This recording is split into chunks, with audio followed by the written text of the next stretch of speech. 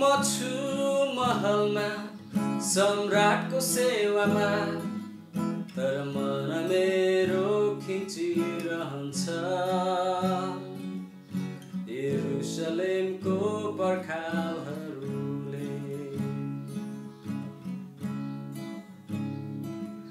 घटी छैन यहाँ तर निन्द्रा चैन खोसिदिएको छ यरुसलेमको पर्खालहरूले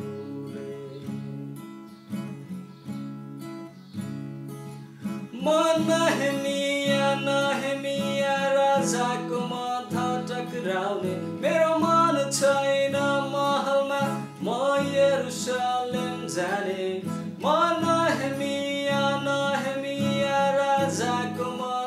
टक्राउने मेरो मन छैन महलमा। म यरुसलेम जाने र पर्खालहरू नबनेसम्म